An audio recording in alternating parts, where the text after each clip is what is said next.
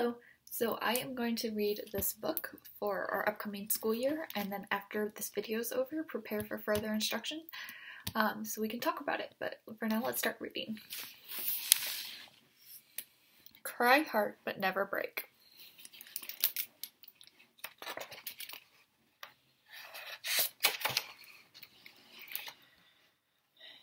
In the far north, in a small, snug house, four children lived with their beloved grandmother, a kindly woman she had cared for them for many years.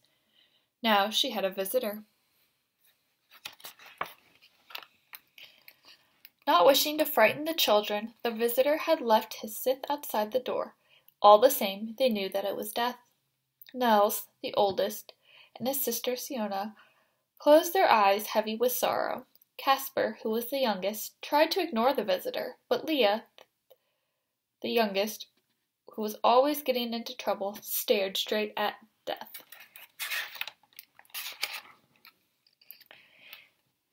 In the quiet, the children could hear their grandmother upstairs, breathing with the same raspy breaths as the figure at the table. They knew death had come for her and that the time was short.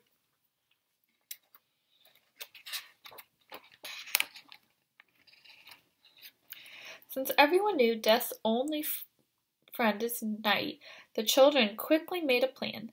They would keep Death away from their grandmother by giving him coffee all through the night. At dawn, he would have no choice but to leave without her. So every time Death emptied his cup, Nels would ask, More coffee, sir? And Death would nod. Death loved his coffee strong and black like the night, and he was happy to sit and rest for a while. Time passed. Finally, Death was ready. He placed his bony hand over the cup to signal no more. Then Leah, who had been watching Death all night, reached out and took his hand. Oh, Death, she said, our grandmother is so dear to us. Why does she have to die? Some people say Death's heart is as dead as black as an some people say Death's heart is as dead and as black as a piece of coal. But that is not true. Beneath his inky cloak, Death's heart is as red as the most beautiful sunset and with beats of great love of life.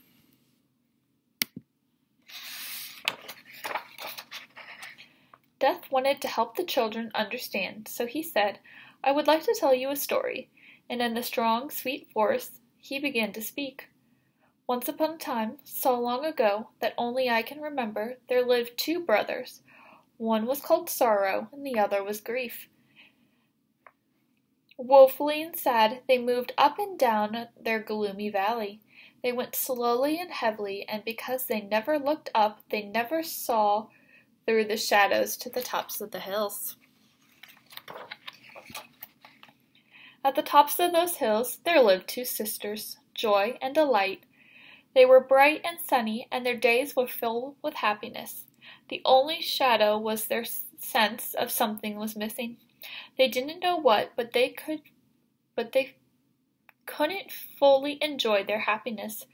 Death Death saw Leah nodding and said, I think you can guess what happened next.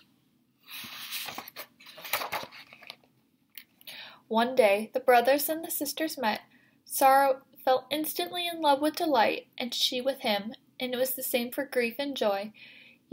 Each couldn't live without the other. After their double wedding and the great celebration, the two couples moved into neighboring houses halfway up and halfway down the hill. This is the distance to their old homes was the same. They all lived to be very old, but when the time came to die, grief and joy did so on the same day, as did sorrow and delight. Their happiness together had been so great that they couldn't live without each other. That's a good story, said Nels. It is the same with life and death, Death said. What would be life what would life be worth if there were no death? What would who would enjoy the sun if it never rained? Who would yearn for the day if there was no night? The children weren't sure that they understood, Death fully, but somehow they knew he was right.